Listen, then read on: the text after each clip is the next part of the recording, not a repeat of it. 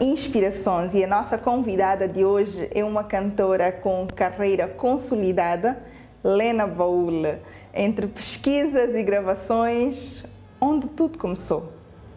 Olá, Vanessa. Olá. Obrigada por me receber. Ah, bom, tudo começou quando eu nasci. Ah, eu sou uma pessoa que eu gosto bastante de música. Música para mim faz parte do meu dia a dia. Não é não é uma chave que eu viro, é um estado constante. Então tudo para mim é inspiração, tudo para mim é é música. Então desde criança eu, eu sempre Quer dizer, obviamente que quando nós somos crianças nós não temos essa consciência, né, de que nós somos musicais, porque a criança na verdade é naturalmente musical, né? Ela é ui, espontânea, se expressa e tal. Então, mas até isso virar efetivamente uma carreira e uma profissão leva um tempo aí, depende Exato. de vários fatores. Exato. Mas em casa eu também sempre fui muito estimulada também, né? E a nossa própria sociedade também é super musical. Todo mundo de alguma forma tem algum swing, algum ritmo, né? Então, é, em casa meu pai era meu pai era, é, eu ainda o considero, talvez ele não, mas eu o considero um grande coleciona- co- colecionador e apreciador de, de música. De música. Música boa, assim, ele tem um ouvido muito bom para apreciar música. E ele escutava muito música em casa, né? E eu lembro bastante assim dele ficar tipo, ah, ouves este som, consegues ouvir que instrumento é este? Então as minhas primeiras aulas de percepção musical foram com ele. É, e eu sinto que esse período me ajudou muito nesse processo de perceber timbres, né? Perceber sons, estar atenta aos sons. É, e e depois foi a escola de música, é, que a minha mãe também, minha mãe também é super ritmada, super com um bom gosto incrível para música. Ela me colocou na escola de música e lá fiz oito anos de piano, com o professor Tiago, aula de canto, solfejo e tal, maquaela também. E daí, enfim, fui seguindo, é, fui seguindo esse fluxo, Sim, na verdade, né? Porque eu não tinha plano de seguir música como carreira, pelo contrário. Eu queria fazer medicina e queria abrir uma clínica. a maior parte das crianças tem sempre esse sonho Esse inicial, sonho, né? ser médico, ser Sim. médica. É, parece que tem uma lista de cinco profissões a escolher entre elas para você ser quando você for adulto, né? Médico, professor, motorista de caminhão. Advogado. Advogado, já ouvi uma vez de empregada, eu quero ser empregado. Então, é, e, então, enfim, eu fui, fui fluindo, né? Eu queria fazer medicina e abrir uma clínica beneficente para pessoas que não pudessem pagar a cirurgia. Esse era o meu plano de vida. É, mas eventualmente eu vi que a medicina precisava de uma disciplina que eu não dava conta. Imagino. e, uma, e um compromisso que, que eu não dava conta. E aos poucos eu acho que a música também foi falando alto, né? Fiz biologia ao invés de fazer medicina, que eu achei que poderia ser assim o meio do caminho. Mas aí depois eu falei, hum, acho que a música tá a chamar-me. E aí fui, né? E daí E a sua infância? Quais eram as brincadeiras que gostava mais de fazer? Eu gostava muito de brincar de fantasia. Lembras daquele concurso que tinha na televisão? De Moçambique? E a. Epá, era muito nice aquele concurso. Quem não, quem não se inspirou com fantasia a ver os cantores, né? A se Pois. desafiarem. Então, virou uma brincadeira de criança para pessoas da minha geração. Eu gostava muito também das brincadeiras musicais, tipo Gogo Chomela, Gogo Chomela, Gogo Chomela, Chomela, ó, Chomela, ó, né? Chusa, Aritmo, Aritmo, tudo isso assim. Eu gostava bastante dessas, dessas brincadeiras assim, que tinha uma coisa de se divertir com, com a dança e tal. Ok. E eu go- gosto também de coisas competitivas, assim, mas não competições que eu preciso derrubar o outro, competições que eu preciso trabalhar minhas habilidades. Então eu gostava muito de Beyoncé, Neca, escondidas de bola, pegar essa bola antes de todo mundo esconder, né? Eu gostava banana, tipo, as- ficar atenta, hum, isso aqui não vai, não vai aparecer antes de eu ler, né? Eu gosto muito, assim, gostava muito, sempre fui muito meio meio macaquinha, gosto de me pendurar nos lugares também. Até hoje eu faço isso. Vou lá para casa da minha avó, fico a subir nas árvores, eu gosto muito. Fico lá descansar, assim, ver o pôr do sol. É, mas eu sempre fui uma pessoa de corpo muito ativo, né? Eu gosto de mexer o corpo, gosto de estar, usar o meu corpo para é, pô, ele foi feito para usar, né? Então eu sou, sou bem E com assim. pais de um do norte, outro do sul, como é que, como é que a, a sua família desempenha um papel na sua vida? Olha, sabes que eu só fui perceber essa diferença agora, agora que eu efetivamente decidi pesquisar sobre isso, que eu comecei, quer dizer, é isso, a morar fora, as pessoas querem saber quem tu és A Helena neste momento está a morar no Brasil. no Brasil. Sim, Ok. Morar. Já notamos pelo sotaque também, já está a pegar esse Yeah, meio brasileiro, Ele vai e né? vem, depende, depende, depende, depende. Quando eu estou com os meus amigos lá, eu falo assim também. mas quando eu estou, enfim, varia. Em, mas morar fora, as pessoas, as pessoas querem saber de onde é que nós somos e qual é a nossa cultura, qual é a nossa ancestralidade. E não só eu mesma por estar fora, eu sinto uma necessidade de me conectar com alguma coisa mais enraizada. Então eu mesma trabalho, e investigo e aprofundo isso, né? Essa, essa, essa consciência é, ancestral, né? Então eu não senti muito na minha infância essa diferença. Não sei, não sei se hoje eu, não sei se eu consigo listar assim, É, até porque a minha mãe cresceu bastante meio em trânsito também, né? Minha mãe saiu do norte muito pequena, já foi migrando pro Norte sul. exatamente onde? Niassa, Niassa. Niassa, em Coamba. Bom, Yeah. Então ela foi tipo, ela já desde pequena já foi descendo para o sul assim durante a infância, a adolescência dela toda. É, e, e, enfim, ela conheceu meu pai jovem também e se casaram jovens também. Então não sei se ela teve muito tempo também para estar muito enraizada na cultura de lá, a ponto de conseguir me passar alguma coisa. Não- não- Hoje é que estamos, eu por minha curiosidade, por minha é, inquietude, que eu fico a provocar, né? mamãe, como é que é isso? Como é que é isso? E aí, agora, como eu estou com materiais aí, enfim, ligados à, à cultura dela, eu sento com ela, lhe pergunto e ela vai se lembrando. É muito interessante perceber isso. Ah, o Jawa, né, que, ela, que é a língua que ela, que ela falava, quando ele mostra uns vídeos de Jawa que eu ando a pesquisar aí, ela, ei, estou a entender, e estava a trazer a minha memória e tal, e tal, e tal. E é muito nice. É muito E a Helena nice. tem irmãos? Eu tenho. Tenho E como é que é a relação nova. com os seus irmãos? É bem tranquila. Eu Eles também estão envolvidos de certa forma na música ou não? Sim, não, sim. A minha irmã, ela é dançarina, bailarina, dança do ventre. Ela é super musical e ela é super afinada, super, é, super ritmada, super consciente, tem uma percepção musical, estética, musical, artística muito boa. E o meu irmão, meu irmão, meu irmão por parte de pai, é, ele ah, ele gosta de música, mas ele cresceu fora, né? Enfim, porque somos irmãos por parte de pai, então ele cresceu com a mãe, então, enfim, ele, ele é meio ele é meio europeuzão, assim. ele é meio tipo, ah, meio desajeitadão, assim, mas ele se dedica, ele gosta de boa música e tal. Mas voltando à minha questão sobre o papel que os seus pais desempenham na sua vida. Epá, hoje eles são grandes apoiadores. Hoje eles me apoiam bastante. É, Quando eu era mais nova foi, foi um desafio para ter uma compreensão total de por que é que você quer fazer música. Porque a música não é bem vista assim. Acho que socialmente, né? Nem é culpa deles, coitados. Acho que é uma coisa da sociedade mesmo. As pessoas ainda não entendem que sem música, o que seria da sociedade? Música é a alma, né? Música, É música tudo. é tudo para todos, na Exato. verdade. O mundo seria um grande silêncio se não tivesse música. E nem todos sabem lidar com o silêncio. Então, os músicos têm uma função social muito relevante e muito importante. Nem todos os músicos têm consciência dessa, dessa sua função e dessa sua responsabilidade social. Mas existe uma função, existe, por isso é que existe, né?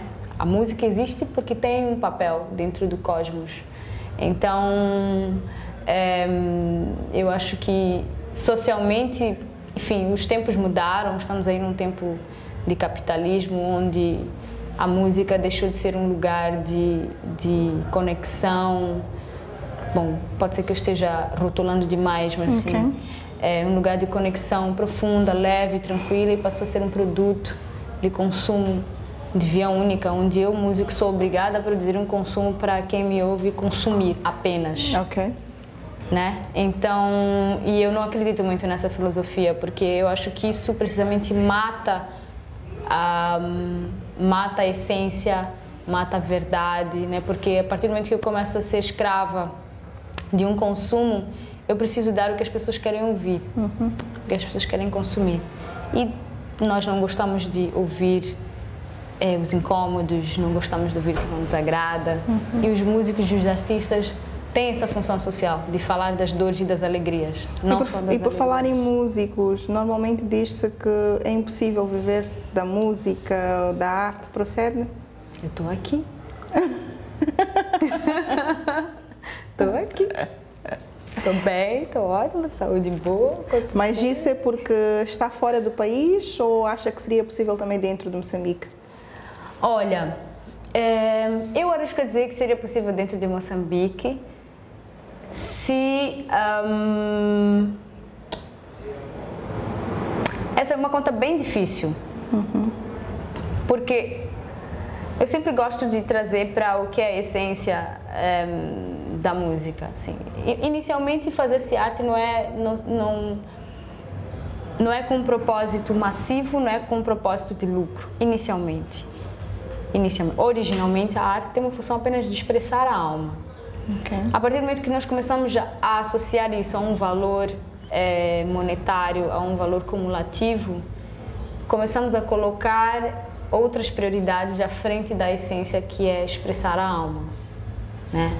Todos nós precisamos expressar a alma. Então, todos nós, em algum nível, somos artistas, cada um com o seu, com o seu recorte. Então, eu arrisco a dizer que se eu fosse ficar aqui e viver de música aqui, eu iria mudar a minha relação com a música, que de alguma forma já é o que acontece. Eu não subo muito em palcos, eu não sou uma pessoa que gosta de ficar a fazer muitos shows, ficar a tocar em muitos lugares, porque eu sinto que isso me traz para um mecânico, me traz para um lugar exatamente de estar a atender uma demanda, que às vezes não é a demanda que está a acontecer dentro de mim. Eu preciso de tempo de silêncio também, eu preciso de tempo de tranquilidade, eu não gosto de ficar a fazer gigs e gigs e gigs. Então, se eu tiver sobre essa chave de que eu preciso gigar para ter dinheiro, para a chance é que seja mais frustrante e a chance é que aos poucos eu, eu fique na luta entre a essência do que eu quero fazer e o mercado.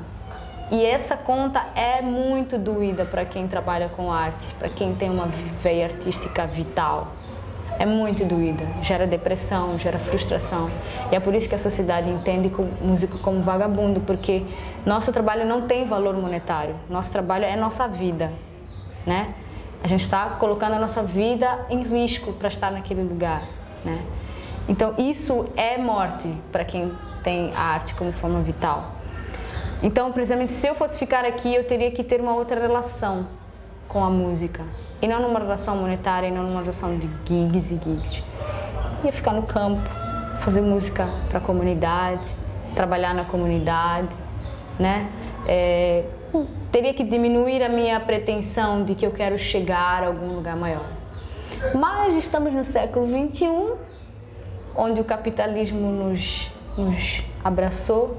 Então, também não, ir completamente contra é também, hoje, se colocar demais num lugar de risco.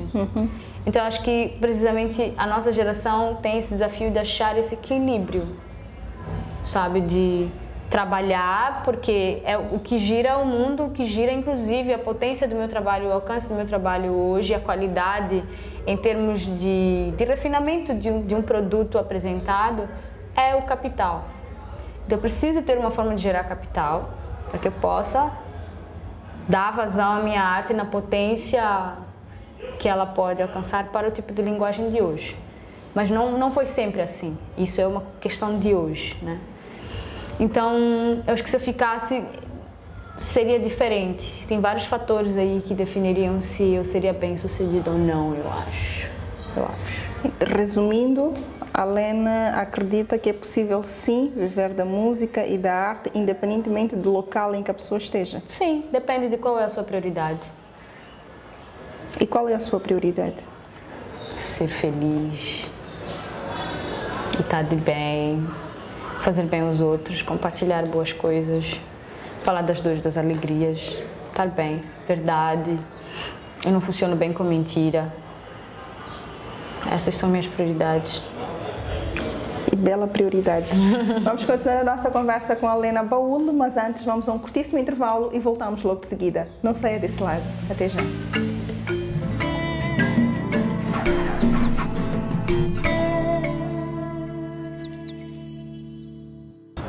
E estamos de volta ao programa Inspirações e a nossa convidada de hoje, como havia referido no início, é a Helena Baúl, esta jovem mulher moçambicana com muita experiência e encanta uh, quando toca, enfim, Lena, fala-nos um pouco da, da, da, da sua formação, Olha, do seu percurso de formação neste caso. A minha formação, ela é, eu costumo dizer que ela é oral e empírica, Uhum. né? É, eu até tentei universidade, escola e tal, mas eu sou muito péssima com, com esse tipo de compromisso, porque eu sinto precisamente que os aprendizados, eles eles precisam estar atualizados ao tempo meu, interno. Então eu tenho muita dificuldade de fazer algo que eu não estou a ver sentido. Aliás, isso é uma coisa que eu preciso trabalhar na minha vida, porque às vezes é importante a gente também saber, tipo, fazer algo que a gente não vê um sentido imediato agora, mas que faz sentido para o futuro, né? Exatamente. É um processo meu que estou levando na minha terapia, como diz no Brasil, né? Mas, ahm, mas eu nunca fui muito boa com esse, com esse tipo de disciplina, né? Então eu sempre tive um, um processo de, de forma... O meu processo de formação é precisamente esse processo circular e de deslocamento. Ok. E muito baseado na prática, Uhum. na vivência. Ok.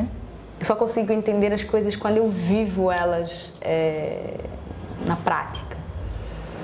E depois a teoria faz, faz sentido para mim. É, então, é, fiz escola de música aqui, oito anos, que quase desisti, exatamente por conta dessa minha dificuldade mesmo. Ok. É, e depois meu professor ligou, manda essa menina voltar para aqui, tem talento. O professor Tiago Langa, na altura. Voltei, terminei a escola de música, quase obrigada, assim. É, mas hoje eu sinto que eu podia ter me dedicado um pouquinho mais. Era só uma questão de focar um pouquinho.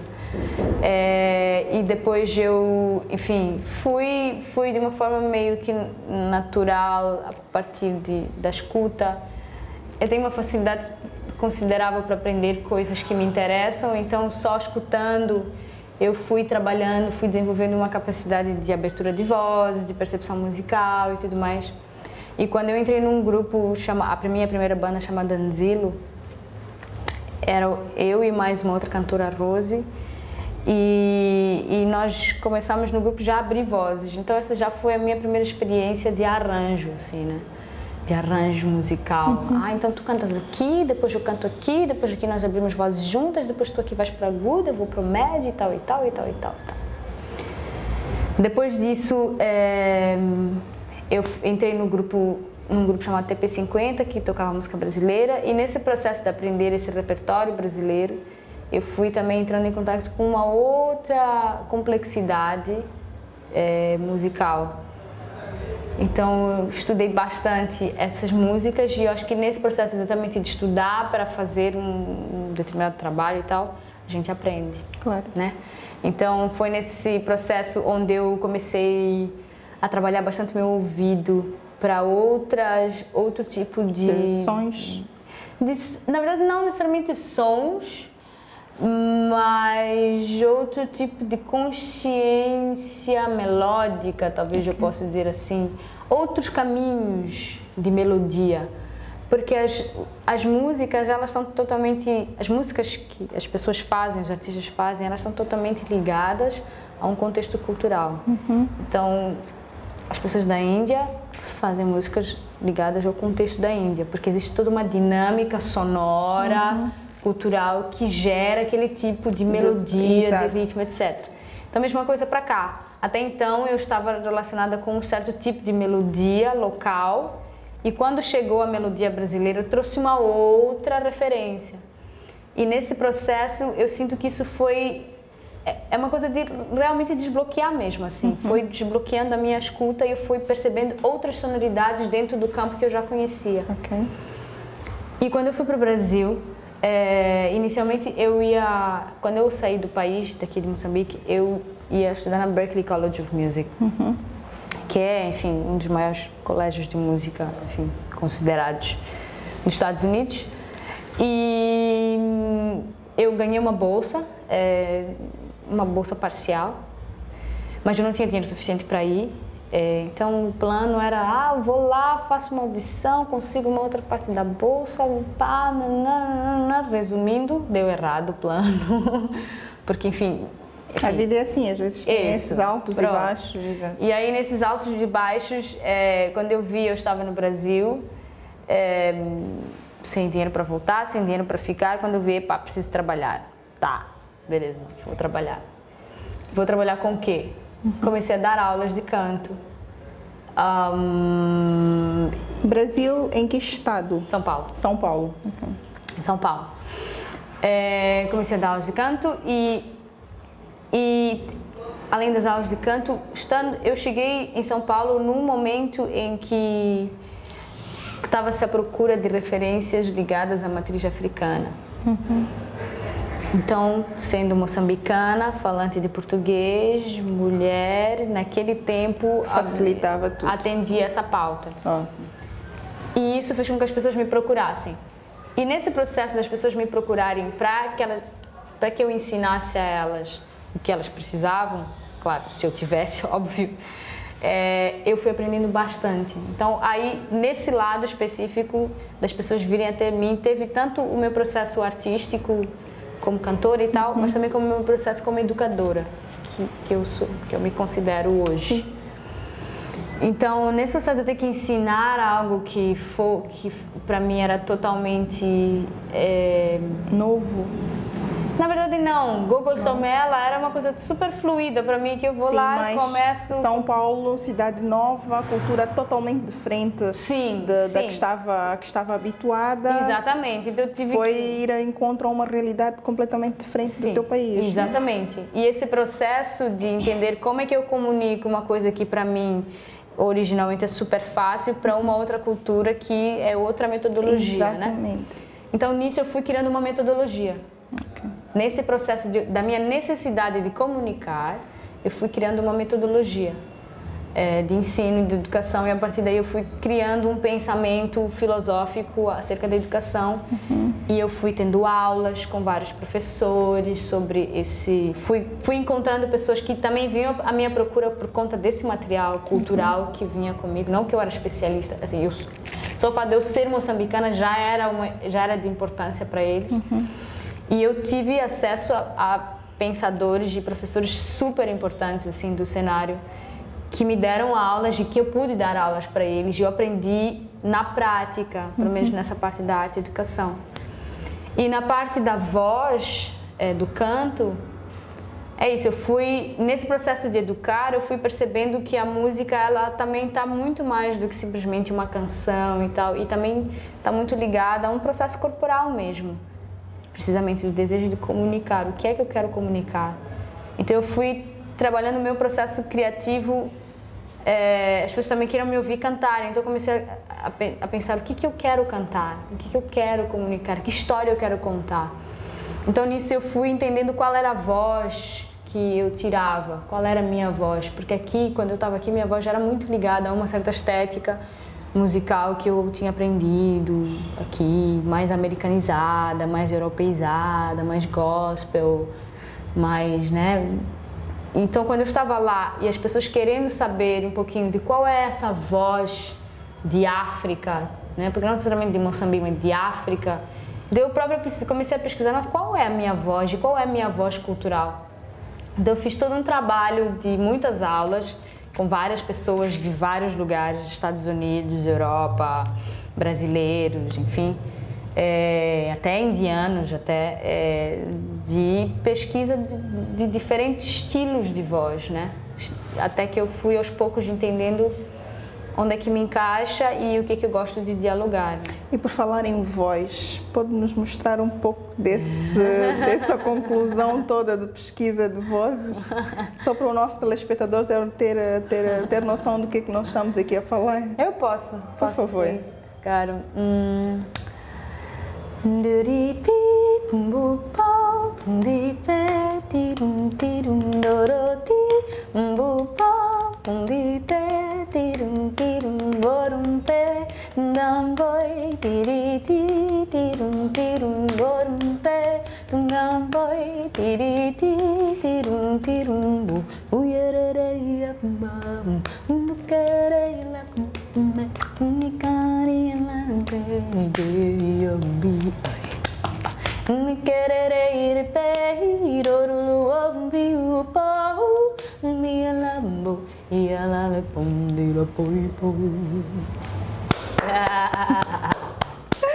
Lena, fala- fala-nos um pouco da sua experiência no Brasil. O que é, comparando aqui a Moçambique, comparando até nem seria, nem seria o Nem termo é correto. justo, nem é justo comparar, é. Mas fala-nos da sua experiência. Está a gostar de estar a viver no Brasil, de levar a arte e, e- e ter essa demonstração toda no, no- num país que não é seu e, de Sim. certa forma, é sempre um pouco complicado. Já nos falou que no princípio foi, foi, foi um percurso bem mais moroso, mas Sim. agora a Lena está tá no seu campo.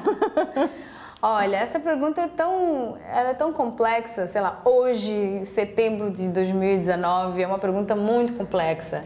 Porque uma coisa é o Brasil que eu encontrei quando eu cheguei, outra coisa é o Brasil de hoje. É, Há quantos anos a Lena está no Brasil? sete anos. Sete, muito tempo. É bastante tempo. É. É, então, sete anos já é o ciclo necessário para que, para que ha- haja, haja uma, uma, uma virada, né? Então, eu sinto que o Brasil está num processo de virada agora.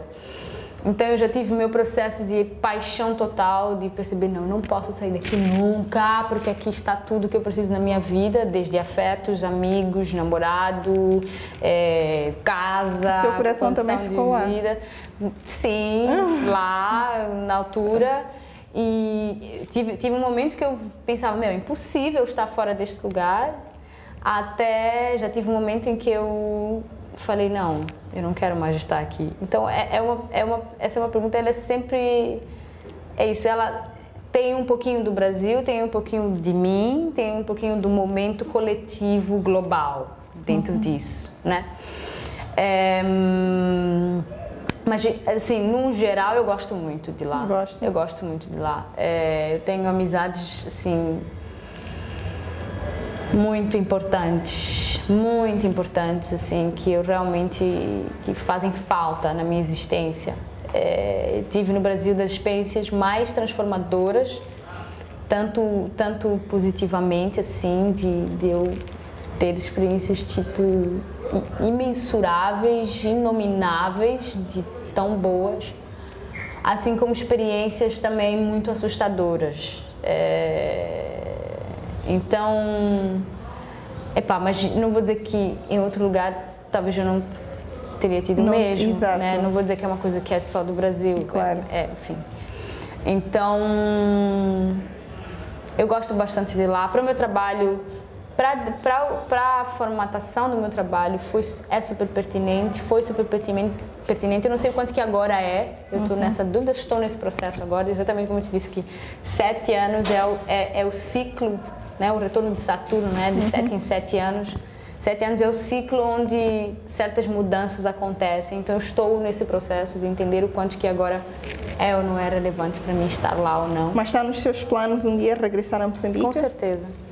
Com Bom certeza. filho sempre volta a casa, Com né? certeza. Lá é acompanhamos, hum, recentemente acompanhamos a, a- a performance da, da, da Lena no Hotel Avenida. Sim, Desculpa, no, no Teatro, teatro, Avenida. sim. Ah, Fale-nos um pouco deste, deste espetáculo. Olha, esse espetáculo foi uma Epa, foi um comparto, foi uma, foi um abrir de um baú secreto meu que, que de coisas que eu venho acumulando nos últimos anos, que não couberam no Nômade, não couberam no meu duo com o João, não couberam nos outros projetos, mas que estão lá também em outra, expressados de outra maneira. São todos, todos esses outros projetos surgiram desse baúzinho aí, desse quartinho secreto. E aí eu abri a janela desse quartinho secreto e deixei as pessoas espreitarem. é isso que esse show era. Ahm, porque é um show que eu fiz solo, fiz sozinha. É, e compartilhei músicas em processo, músicas acabadas, músicas é, não minhas, mas que diziam com palavras que eu queria ter dito o que eu estava a sentir, músicas que eu queria ter feito. Sempre tem umas assim, músicas que eu gostaria de ter feito. Todo artista tem assim uma música que ele gostaria de ter feito. E qual é arte, né? uma das músicas que a Helena gost- gostaria que tivesse feito e, não, e foi feita por outra pessoa? Epa, tem tantas, mas uma das que eu cantei no, no, No espetáculo? no espetáculo foi uma do Gilberto Gil, que é eu, aprend, eu preciso aprender a, a só ser. É muito bonita a letra. É, sabe, gente, é, tem, há tanta coisa pra gente saber. O que cantar, como andar, onde ir. O que dizer, o que calar, a quem querer. Sabe, gente, é tanta coisa que eu fico sem jeito. Sou eu sozinha e esse nó no peito, já desfeito em lágrimas que eu luto em esconder. Sabe, gente, eu sei que no fundo o problema é só da gente, é só o coração dizer não. Quando a mente tenta nos levar pra casa do sofrer. E quando escutar uma certa canção, assim como eu preciso aprender a ser só, reagir e ouvir, o coração responder. Eu preciso aprender a só ser. Bravo! É muito bonita essa música. é, né? Gilberto Gil é brasileiro. Ele é brasileiro de Salvador, que eu costumo dizer que Salvador é, é o Maputo do Brasil.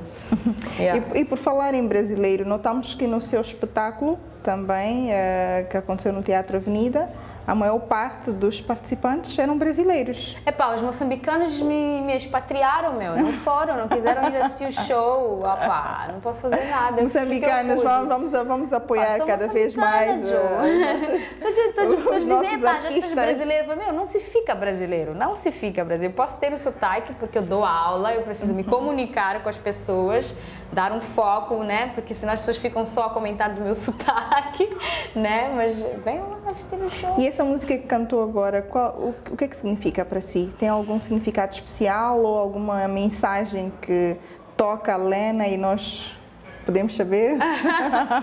Pá, eu, preciso, eu preciso aprender a só ser. Nós, quanto mais adultos nós vamos ficando, mais difícil vai sendo tomar decisões né, na vida. Pois. É, é tanta coisa para a gente saber, né? O que comer, como andar, onde ir, a quem que querer, o que dizer, o que calar. É muita decisão, né? É, e às vezes isso, se nós não tivermos um processo de organização e- e E disciplina. e não é necessariamente disciplina, mas é de consciência. Tudo, a, a disciplina promove, a consciência promove a disciplina, na verdade. Mas esse lugar de consciência dos nossos pensamentos, das nossas emoções, é, ter cuidado para a mente, a mente não nos levar para a casa do sofrer. Né? Tem aquele, aquele quote que diz fear, é, false evidence appearing real. Falsas evidências que se parecem reais, né? Então é um processo mental onde a gente constrói coisas que não estão necessariamente a acontecer. E o coração dizer não quando a mente tenta nos levar para a casa do sofrer.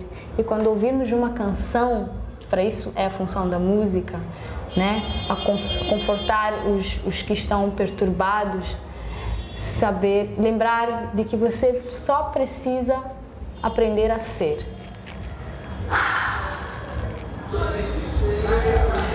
Lindo, espetacular. vamos continuar a nossa conversa com a Lena, mas antes vamos a um curtíssimo intervalo. Não se saia desse lado. Até já.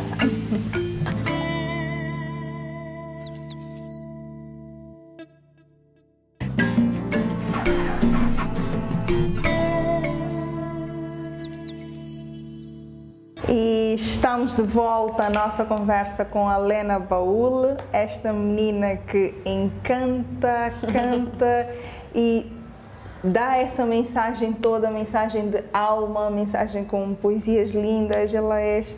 Estou completamente encantada com a Lena. Lena, de todas as experiências que teve como artista, qual é a que mais marcou?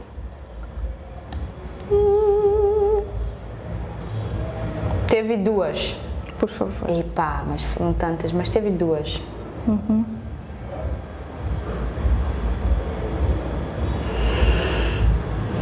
Epá, foram tantas. Mas teve duas. Conte-nos uma, pelo menos. teve duas. Sim. Ah, um- epá, uma que, que é meio compartilhada com várias pessoas, que é o fato de eu ter tido a chance de cantar com os meus ídolos.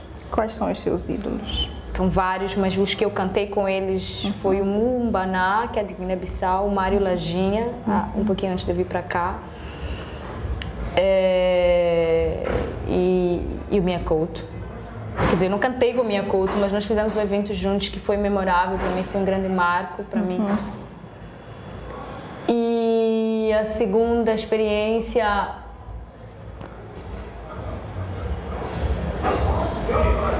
A segunda experiência foi. acho que foi ter feito solo, foi ter precisamente. Não, foi o lançamento do meu disco em São Paulo.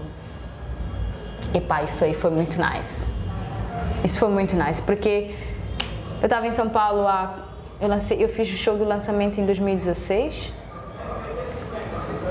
E eu já estava lá há quatro anos. Todo um Refere-se a Nômade? Ao Nômade, é, ao Nômade. O disco foi feito com muito suor. Fiz uma campanha de financiamento coletivo, várias pessoas daqui de Maputo contribuíram, pessoas lá de São Paulo também.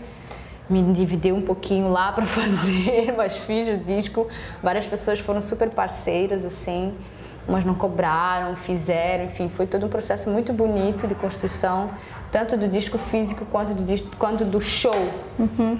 O show tinha um elenco gigantesco, só de cantores éramos oito, mais três instrumentistas, mais dois convidados, outro convidado, outro convidado, mais dez convidados, mais uma produção de três elementos, mais dois iluminadores, mais equipe de câmera. Tinha tipo, muita gente que eu precisava pagar todo mundo, enfim. Mas todo mundo topou, assim, vamos junto e fizemos um super show que foi super memorável. Mas a coisa mais interessante disso é que os meus pais, a minha mãe e meus pais fizeram uma, uma surpresa para mim. E, eu, e foi interessante porque nesse dia eu acordei super deprimida, assim, falar, poxa, eu fiz tudo isso aqui, o auge da minha vida de carreira, e a minha família não está aqui para assistir, é como se isso aqui vai ficar na nuvem, no tempo, eles não vão saber, vai ficar só, na, enfim, puxa, que pena. Eu estava super nesse lugar, assim, não, estava feliz, mas é bom quando a nossa família pode testemunhar um lugar de Exatamente. vitória A tão família é tudo, na Yeah. verdade. Sim. Então, estava super triste. Então, fomos lá, fizemos o show, organizamos o show, tudo bonitinho, maravilhoso. Minha mãe, minha mãe ainda mandou mensagem, minha irmã mandou, opa, te desejo boa sorte, tudo mais, tudo mais. Fiz o show, fiz, eu- e esse dia eu chorei bastante quando eu acordei. Escrevi uma, um, um agradecimento com um texto, tudo bonitinho. E eu lembro de ter colocado no texto. Hoje eu estou muito feliz, muito triste que os meus pais, que a minha família não pode estar aqui para testemunhar, mas eu estou muito feliz de que eu tenho muitos anjos, que são vocês, meus amigos, que estão aqui. Tá, Muito obrigada a todos, boa noite. E quando eu estou a agradecer, a minha irmã sobe no palco. Eu quase tive um ataque. Até hoje, quando eu vejo esse vídeo, eu choro. A minha irmã subiu no palco eu comecei a chorar desesperadamente, porque foi um choque muito grande, né? Precisamente, eu não tinha ideia que tinha um familiar meu, precisamente que era o que, o que mais me pegou nesse dia, né? Eu tive um ataque e foi impressionante. Nesse momento, plateia inteira, 300 pessoas, mais as outras 50 no palco, todo mundo assim, ué, com os olhos assim. Foi emocionante. As fotos desse momento tá tipo todo mundo com lágrimas nos olhos, né? E foi esse foi um dos momentos mais marcantes. Até hoje eu encontro pessoas em São Paulo que se lembram desse, Desse dia, né? momento. Então acho que esse momento foi foi realmente Porque é um momento de histórico. amor, é um momento Yeah. puro, Yeah. é aquilo que, que nos fortalece. Yeah. A família é tudo, sem dúvidas. E quando temos principalmente o apoio, o carinho dos nossos familiares e pessoas que nós, nós gostamos, Amamos e... então a coisa flui cada vez mais. Epá, Eu liguei para minha mãe, minha mãe só chorava e ria, e chorava e ria, porque ela que organizou tudo. Ela, falou, Uhum. ela até me conta, ela disse, ei, Nara, eu, não, eu, ei, eu fiquei inquieta, sabe? Não podia, ei, não vão pensar que aquela menina não tem família. Nada, vou organizar, vou mandar a miúda lá, vamos fazer essa surpresa. Essa é a força da família moçambicana. Foi lindo. Lennon, qual é o significado do seu álbum Nômade? Olha, o nome faz, fala precisamente de encontros, fala precisamente desse processo de se descobrir um ser que se desloca e que se encontra com afetos, que se que, que, que é acolhido, né? É, e o que que surge a partir desses encontros. É, fala sobre culturalidade, né? Então tem coisas do, coisas do Brasil, tem uma brasilidade, mas não necessariamente coisas do Brasil, mas tem uma brasilidade, tem uma moçambicanidade, tem uma e tem um, um ocidentalismo lá, assim, Ok. que é a minha A Lena fez uma também. pesquisa dos sons aqui de Moçambique também para fazerem parte desse. Não necessariamente porque eu não tive esse tempo, Ok. né?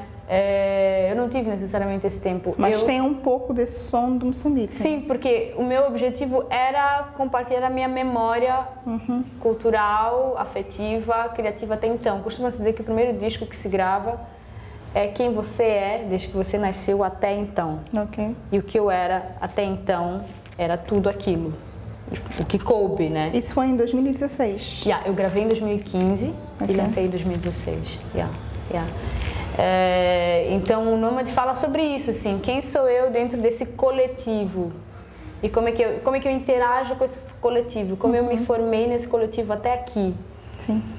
E esse novo trabalho, precisamente que eu fiz uma, uma mostra na, no Teatro Avenida essa, sema, é, na semana, essa semana, na semana passada, é, fala, não fala mais do coletivo, fala de mim. Ok. Exatamente, meu quartinho escondido que, que ninguém só entra Seu quando eu baú. quero. é. então, fala exatamente das raízes. Então, quando eu me desloco, o que me ancora nesses deslocamentos, né? O que me ancora? Qual é o meu lugar que me faz eu abrir, fechar, contrair, expandir, né? Nessas interações. Como é que a Lena define a música? Vital. Vitalidade. Bota uma música quando estiveres de mau humor. Bota uma música quando estiveres feliz. Quando estiveres triste, quando estiveres com medo. É vitalidade, é vida. Música é vida para mim. É movimento. Música é movimento. Qual é o seu sonho de vida?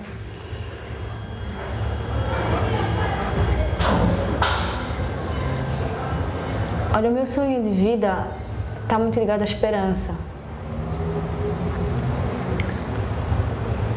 Está muito ligado à esperança e uma corresponsabilidade coletiva com o planeta Terra. Sem planeta, não tem trabalho, não tem vida. E seu sonho para Moçambique? melhor para todos. É, E mais justiça para as mulheres, mais cuidado com as crianças e atenção para os idosos.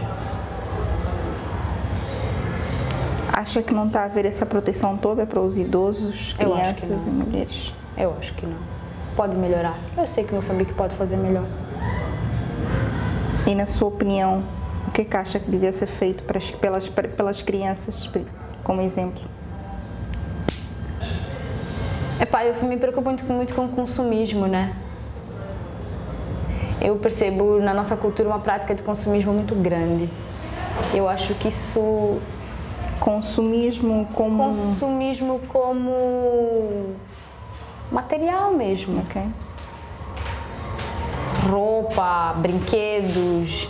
Me dá a sensação de que as crianças de hoje em dia, elas não brincam mais na rua. Elas têm iPads e essas coisas todas aí. As crianças não estão mais a brincar, elas não são estimuladas a usar o cérebro e a criatividade delas para criarem seus próprios brinquedos, para questionarem sobre, sobre como funcionam as coisas. Uma das coisas que eu mais sou grata é que eu acompanhava meu pai, por exemplo, a ir montar e desmontar computadores nos lugares que ele ia. Eu montava e desmontava a aparelhagem com ele e eu adorava fazer isso. Eu não me importo. Seu pai é DJ? Yeah, meu pai é engenheiro eletrônico, na verdade. Uhum. Mas ele adora música e ele teve um período em que ele era DJ e que ele, enfim, tinha um processo de alugar aparelhagem e tal. E eu adorava fazer isso com ele, porque eu aprendi tanto nesse processo, mas tanto Fui pescar com ele, fui para o mato com ele, ele me ensinou várias coisas, sei trocar um pneu. E na sua percepção, as crianças hoje não, não. têm essa experiência, Nem essa vivência? Ir para as crianças, vamos ir para os adolescentes, as pessoas da, da minha irmã para baixo, ou para cima, enfim, em termos de cronologia. Me dá a sensação de que os adolescentes, crianças, jovens de agora estão entorpecidos de informação e eles não são estimulados a, a, a trabalhar a sua massa cinzenta e a, a pôr as mãos no barro. Yeah, mas a questionarem, muito mais do que pôr as mãos no barro, é entenderem como as coisas funcionam. E nós, adultos, também não temos a paciência de explicar os porquês das coisas. Porque a vida está tão corrida, serviço, casa, é responsabilidade e por aí em diante, muitas das vezes os pais esquecem-se de viver o presente. Exato de prestar atenção nesse ser aqui, que está curioso, que está atento, que esse ser, esse ser é um ser que tem desejos, vontades próprias e que a partir desse, das perguntas dele ele está expressando as suas vontades, os seus talentos. Será que eu, como pai, como mãe, estou atento, estou atenta? Ou eu só estou querendo que ele se encaixe num padrão social e que atenda as demandas sociais para que eu possa cumprir o meu papel de pai ou mãe bem-sucedido na sociedade. Né? Então isso é uma pauta que para mim, porque epá, as crianças de hoje são os, os, os adultos da manhã. Da manhã, claro. O que estamos, as crianças que estamos a educar hoje vão ser as pessoas que vão construir a sociedade daqui a um tempo. O que estamos a viver hoje é como foram educados antes. Então, mais cautela, é uma coisa, é pá, isso mais é responsabilidade para os pais, para os educadores. Mas escuta, realmente assim, que se dedique tempo, tipo, sem celular, sem iPad, sem televisões HDs. Vamos brincar, vamos investigar, vamos criar os próprios brinquedos, vamos vamos tocar, fazer uma música, pega um instrumento, toca com teu filho, não sabe, os dois não vão saber. Pega já que quer usar a internet, usa o YouTube, tem tudo no YouTube, como aprender a tocar violão e aprenda com seu filho, por exemplo, né? Pode fazer isso. Não tem problema nenhum um pai se vulnerabilizar a não saber e estar no lugar de aprender junto com seu filho, né? Então, isso é uma questão que para mim realmente me pega muito, assim. É, Estou muito preocupada. E mesma coisa com os idosos, né? Nós temos a tendência a abandonar os nossos idosos. Mas esquecemos que amanhã também seremos idosos. Opa! E se não cuidamos das crianças de hoje, quem é que vai cuidar de nós? Exatamente. E mulheres? Olha, a sociedade moçambicana se dedica muito a objetificar a mulher. Tem uma dedicação muito grande na objetificação da mulher. Isso é uma coisa que realmente é, é um problema. É irritante, na verdade. Tipo assim, estava a conversar com uma, estava numa festinha ontem com umas amigas. Vamos lá numa roda, nós quatro a dançarmos. E o rapaz, ele sente-se no direito de chegar na roda e começar a encoxar em nós. As mulheres. Né? Então, Total tipo, falta de respeito. Né? Então, quando, eu sinto, quando os homens acham que eles têm esse direito, direito, de invadir esse espaço, então temos um problema social aí, né? De que eu acho que os homens estão a ter respaldo demais. Então, não sei. Eu não, eu não vou dizer que também as mulheres não são... Não vou dizer que a culpa é das mulheres, não vou dizer que a culpa é dos homens. É uma construção social porque as mulheres também abrem espaço, os homens invadem esse espaço, as mulheres também é, chamam, enfim, é uma, é uma, é uma coisa assim, é, não é tipo culpa que de um tem que ser discutida e colocada nos eixos. Eu acho, coletivamente. Lena, o que lhe inspira? O que me inspira? Há duas questões, o que e quem, mas vamos começar por o que lhe inspira. Epá, o que me inspira? Natureza. Ir para a natureza.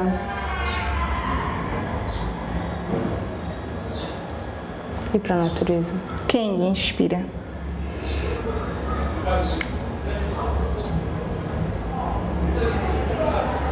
Olha, eu tenho várias inspirações. Ah, quem me inspira? Pessoas com uma frequência boa, que chegam com amor e tranquilidade, espontaneidade e respeito. Tem alguma referência musical moçambicana para si? Tenho, tenho várias. Mencione uma, pelo menos, por favor. Ahn, Olha, eu gosto bastante do Timbila Muzimba. Para mim, esses jovens aí são tipo a representação de Moçambique, assim, Muzimba, conheço. Sensacional. inquestionável. Eu vejo o som do Timbila Muzimba e fico louca. Tipo, ah! eu gosto, eu gosto. Qual é a sua mensagem para os jovens que olham para a Lena, inspiram-se, gostavam de pelo menos eh, trilhar o caminho que a Lena conseguiu ou teve oportunidade, apesar dos obstáculos que enfrentou na vida, mas chegou, pode não ter chegado no topo, mas está perto disso, se calhar. Qual é a sua mensagem para os jovens? Jovens e não sou, né? Olha, esse topo é bem relativo, né? Porque eu sinto, por exemplo, que eu estou no auge da minha carreira nesse momento, Sim. né? Não necessariamente é o auge que as pessoas conotam que tem que ser, enfim. Exato. Mas eu acho que diria para os jovens é... Seja sempre aprendiz. Nunca pare de aprender. Seja sempre aprendiz. Seja inquieto e busque sempre aprender. Porque o aprendizado ele dá um novo começo, né? De nova jornada, ele dá uma nova perspectiva de se aprender algo novo. E quando a gente se coloca num lugar que a gente já sabe tudo, então bom, então beleza, acabou, acabou, não tem mais o que fazer. Então se nós estamos em constante aprendizado, estamos em constante movimento. E fomos feitos para nos movimentar. Senão, estaríamos mortos, né? Então, Lindo. Muito obrigada, Lena, Obrigada, por ter eu. nos concedido este tempo de conversa. E assim foi a nossa conversa com a cantora Lena Baúl. Espero que tenham gostado. Continue a acompanhar as nossas páginas Facebook, Instagram e YouTube. Nós voltamos na próxima semana com mais inspirações. Até lá, fique bem e, por favor, ame, respeite sempre. Tchau.